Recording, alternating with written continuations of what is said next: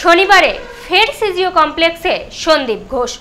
কিছু সময়ের মধ্যে আর্জি করে সিবিআইয়ের প্রতিনিধি দল। হাতে কি নতুন তথ্য? সংবাদ মাধ্যমে প্রচার বন্ধের আবেদন জানিয়ে আদালতে সন্দীপ। সিজিও কমপ্লেক্সে গভীর রাত পর্যন্ত জেরার সন্দীপ ঘোষকে শনিবার ফের তলব আরজিকরের প্রাক্তন অধ্যক্ষকে গ্রেপ্তার না করেও চলছে জিজ্ঞাসাবাদ।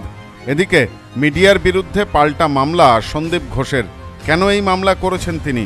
দেখুন, আরজিকর কাণ্ডে ওই মেডিকেল কলেজের অধ্যক্ষ সন্দীপ ঘোষকে সিবিআই তলব করলেও প্রথমে তিনি হাজিরা দেননি। এরপর শুক্রবার কার্যত মাঝ রাস্তা থেকে তাকে তুলে নিয়ে সিজিও কমপ্লেক্সে চলে যায় সিবিআই আধিকারিকেরা। দুপুর তিনটে নাগাদ তুলে নিয়ে যাওয়া হয় তাকে। গভীর রাত পর্যন্ত সেখানে জিজ্ঞাসাবাদ করা হয়, বয়ান রেকর্ড করা হয়। শনিবার সকালে তাকে ফের সিজিওতে ডাকা হয়। এদিন সিজিও কমপ্লেক্সে ঢোকার সময় সন্দীপ বলেন, তদন্তের জন্যই আমাকে ডাকা হয়েছে। আমি সব রকম সাহায্য করব। আমাকে গ্রেপ্তার করা হয়নি। এদিকে তার বিরুদ্ধে সংবাদ মাধ্যমে প্রচার বন্ধ হোক বন্ধ হোক মিডিয়া ট্রায়াল। এমন দাবি জানিয়ে নতুন মামলা করেছেন আরজিকরের প্রাক্তন অধ্যক্ষ সন্দীপ ঘোষ। আদালতে সন্দীপের যুক্তি সংবাদ মাধ্যমে তার বিরুদ্ধে একতরফা প্রচার করা হচ্ছে। ভুল খবর রটানো হচ্ছে। আর এর জন্যে তার সম্মানহানি হচ্ছে। জীবনেও বিরূপ প্রভাব পড়েছে। নিজের ব্যক্তিগত নিরাপত্তা নিয়ে আশঙ্কা প্রকাশ করে কলকাতা হাইকোর্টে ইতিমধ্যেই আবেদন জানিয়েছেন সন্দীপ।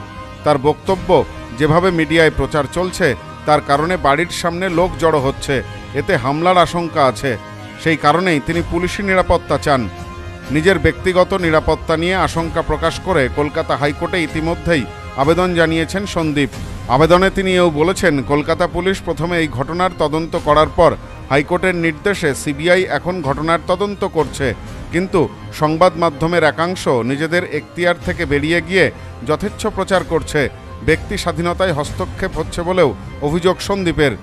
এদিকে শনিবার সকালে ফের আরজিকর মেডিকেল কলেজ ও হাসপাতালে সিবিআইয়ের তদন্তকারী দল। শুক্রবার গভীর রাত পর্যন্ত আরজিকরের প্রাক্তন অধ্যক্ষ সন্দীপ ঘোষকে জিজ্ঞাসাবাদ করেছে সিবিআই। এরপর সকালে ফের সিবিআইয়ের দপ্তরে হাজিরা দিয়েছেন তিনি। চলছে জিজ্ঞাসাবাদ। সকাল দশটার কিছু পর সল্টলেকের সিজিও কমপ্লেক্সে যান সন্দীপ। এরই মধ্যে বেলা সাড়ে এগারোটা নাগাদ আরজি করে পৌঁছায় কেন্দ্রীয় তদন্তকারী সংস্থার অফিসাররা। আর তাতেই শুরু হয়েছে নতুন করে জল্পনা। সন্দীপের থেকে কি কোনো গুরুত্বপূর্ণ তথ্য মিলেছে? সেই সূত্রেই কি ফের ঘটনাস্থল পরিদর্শনে তদন্তকারীরা? স্বাভাবিকভাবেই এখনই এর উত্তর মিলছে না।